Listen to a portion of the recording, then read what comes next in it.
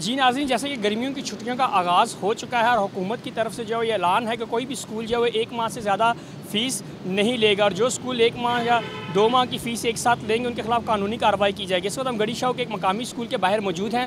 ہم یہاں والدین سے جانتے ہیں کہ ان سے کتنی فیس لی جاتی ہے، ہمارے ساتھ رہیے گا۔ باقی سب سے دو ماہ کی فیس لے رہے ہیں۔ میرے سے بھی دو ماہ کی مانگ رہے تھے۔ تو میں نے بڑی ریکویسٹ کر کے بڑی مشکل سے ان کو ایک ماہ کی فیس دی ہے اور وہ بھی کہا ہے کہ نیکسٹ منتھ جو ہوگا دو ماہ کی فیس دیں گے۔ لیں گے ضرور۔ چھوڑیں گے نہیں وہ۔ وہ تو پچھلے منتھ سے ہی وہ کر رہے ہیں کہ آپ نے لازمی دینی ہے۔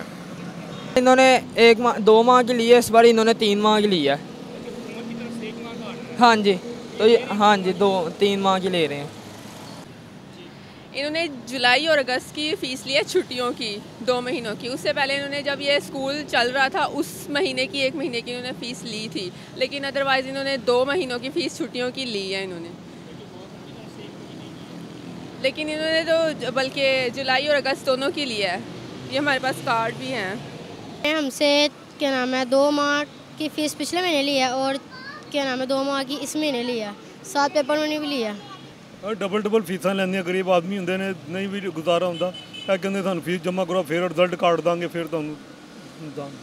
ਗਰੀਬ ਆਦਮੀ ਕਿੰਨਾ ਕਿੰਨਾ ਕਰ ਸਕਦਾ ਹੈਗਾ ਡਬਲ ਡਬਲ ਫੀਸਾਂ ਲੈਂਦੇ ਨੇ। ਹਰ ਸਕੂਲ ਮਹੀਨੇ ਬਾਅਦ ਉਹ ਫੀਸ ਲੈਂਦੇ جی ناظرین، یہ آپ سن رہے تھے لوگوں کے خیالات، ان کا یہ کہنا تھا کہ پہلے کئی لوگوں کا یہ کہنا تھا کہ انہوں نے بڑی منتیں کر کے جو ہے وہ اپنی فیس ایک ماہ کی کی ہے، لیکن انہوں نے پھر بھی یہ اسکول والوں نے کہا ہے کہ دو ماہ بعد دوبارہ یہ فیس دینی پڑے گی۔ جبکہ کچھ والدین اور کچھ بچوں کا یہ کہنا تھا کہ دو ماہ کی فیس پہلے لی ہے، پھر دو ماہ کی فیس چارج کی اور کچھ بچے یہ کہہ رہے تھے کہ انہوں نے ایک ماہ کی ایکسٹرا فیس یعنی پانچ ماہ کی بھی فیس لی ہے۔ اگر دیکھا جائے تبدیلی سرکار کا، تو تبدیلی سرکار کا یہ دعویٰ تھا کہ قانون کے اوپر مکمل طور پہ جو عمل ہوگا اور جو بھی اس کی وائلیشن کرے گا، اس کو جو ہے اس کے خلاف قانونی کارروائی کی جائے گی۔ اب دیکھنا یہ ہے کہ ان سکولوں کے خلاف پاکستان تحریک انصاف اور بالخصوص جو ہے پنجاب حکومت کیا کارروائی کرتی ہے۔ ناظرین، کیمرہ مین شاہد اقبال کے ساتھ محمد ارشد گل کو لاہور ٹوئنٹی فور نیوز سے اجازت دیجیے اللہ حافظ۔